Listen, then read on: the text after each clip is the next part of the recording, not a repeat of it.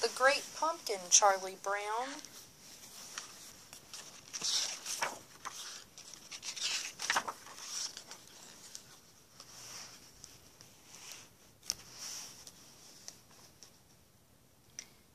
Dear Great Pumpkin, I'm looking forward to seeing you on Halloween night.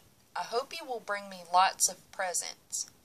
Every year, Linus writes to the Great Pumpkin, and every year he waits in the most sincere pumpkin patch he can find, hoping to see his mysterious hero. On Halloween night, the Great Pumpkin rises out of his pumpkin patch and flies through the air with his bag of toys for all the children. Linus explained to Charlie Brown. You must be crazy, Charlie Brown said. Linus's sister Lucy cried, Riding to the great pumpkin again? You'll make me the laughing stock of the neighborhood. Linus sighed. There are three things I've learned never to discuss with people religion, politics, and the great pumpkin.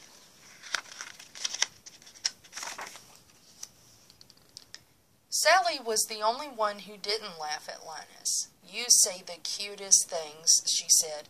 Would you like to join me in the pumpkin patch this year? Linus asked. Sally smiled. Oh, I'd love to. Linus was excited. This Halloween he would have company in the pumpkin patch, and surely this time the great pumpkin would appear. But first, Linus had to mail his letter. Nearby, Charlie Brown opened his own mailbox. For once, it wasn't empty. I got an invitation to a Halloween party. Charlie Brown danced with joy. I've never gotten a party invitation before. Is it Violet's party? Lucy asked. Your name must have wound up on the wrong list. You were on the don't invite list.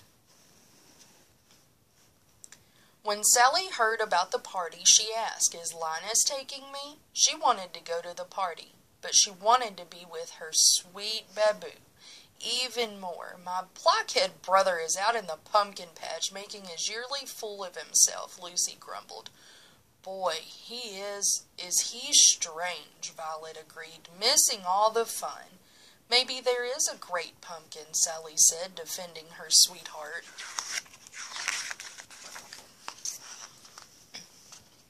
But Sally soon forgot about the great pumpkin. Everybody was getting ready for Halloween. All the kids were making ghost costumes except Lucy. Where's Charlie Brown? Schroeder wondered aloud. Here I am, Charlie Brown said from under a sheet full of holes. I had a little trouble with the scissors. Everyone recognized Pigpen by his cloud of dust, but there was one strange figure in the crowd. Who in the world is that? Lucy asked when she saw Snoopy's costume. He's a World War One flying ace, Charlie Brown explained. Flying ace or no flying ace, Lucy decided to take charge. All right, first we'll go trick-or-treating. Then we'll go to Violet's party, she declared as the World War One ace slipped off into the night. Linus was waiting at the pumpkin patch when the rest of the gang walked by. Have you come to sing pumpkin carols? he asked. Blockhead, you're going to miss the fun again, Lucy said. Don't talk like that, Linus exclaimed. The great pumpkin will come because I'm in the most sincere pumpkin patch. Oh, good grief. Lucy marched off with the ghost. Sally went along, but at the last minute she ran back. Linus grinned. You'll see the great pumpkin with your own eyes. The great pumpkin has to pick this patch. I don't see how a pumpkin patch could be more sincere than this. Linus wasn't trick-or-treating, but he wasn't forgotten. Can I have extra candy for my stupid brother? Lucy demanded at each house. He couldn't come with us because he's waiting for the great pumpkin. It's so embarrassing, Lucy sighed. I got a chocolate bar, Pigpen reported. I got a quarter, Schroeder added. I got a rock, Charlie Brown said. No one noticed that Snoopy was missing.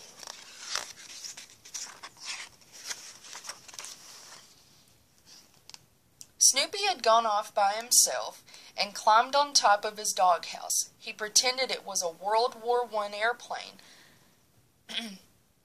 Rat-a-tat-a-tat-a-tat. The World War One flying ace fired his machine guns. Rat-a-tat-a-tat-a-tat. The Red Baron fired back. Curse you, Red Baron! The brave pilot went down with his plane.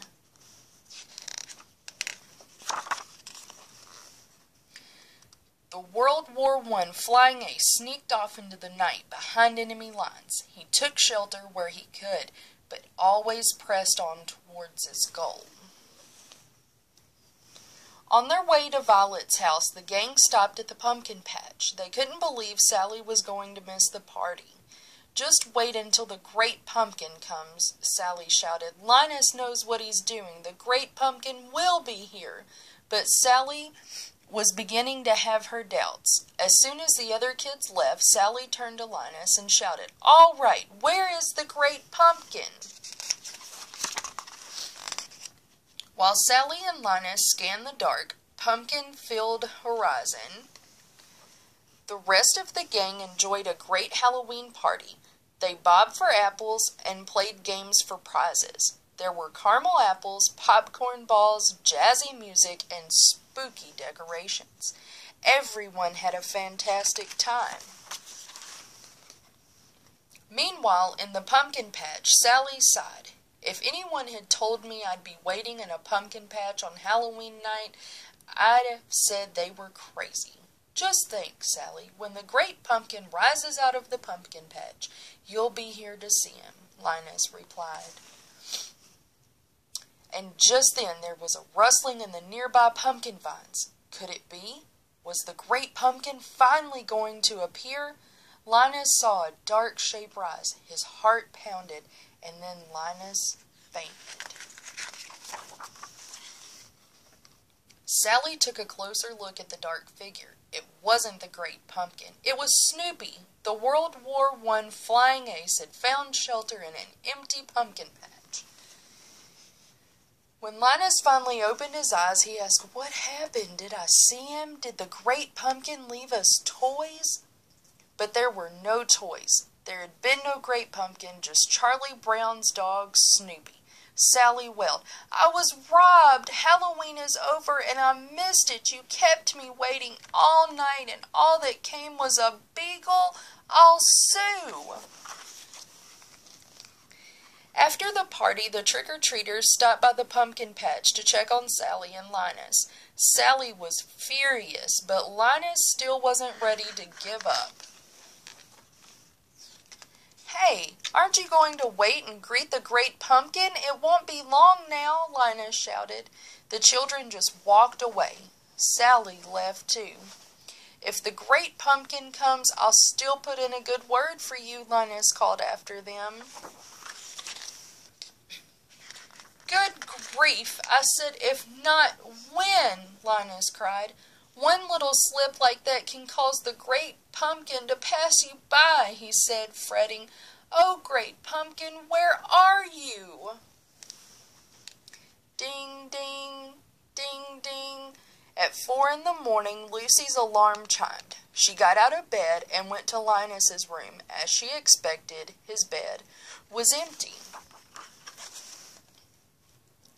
Lucy put on her coat and went to the pumpkin patch. She found her little brother shivering and alone. Once again, Linus had missed Halloween. Lucy brought her brother home, took off his muddy shoes, and tucked him in bed. Another Halloween had come and gone, and the great pumpkin hadn't appeared. The next day, Charlie Brown tried to make Linus feel better. Don't take it too hard. I've done a lot of stupid things in my life, too. Waiting for the great pumpkin isn't stupid, Linus replied. Just wait until next year, Charlie Brown. You'll see. I'll find a pumpkin patch that's real sincere, and I'll wait until the great pumpkin rises up. And who knows, maybe next year. The end.